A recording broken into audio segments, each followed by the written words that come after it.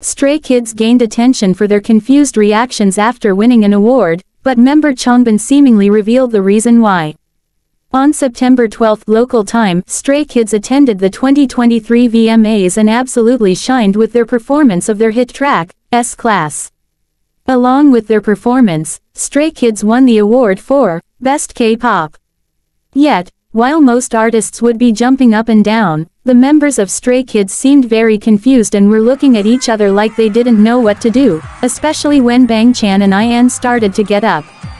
It seemingly took them a few seconds to realize what was going on and when they did, you could see the members' reactions change instantly and huge smiles erupted on their faces as they knew they had won.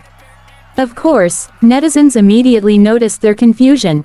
Yet, it seems like there might actually have been an explanation for all the confusion of the members after their names were read out. After the event, Changbin chatted with fans and shared his thoughts, actually revealing that they initially didn't know their names had been called. Really the song was playing but we didn't know it was us. We didn't know we were being called because we couldn't hear well.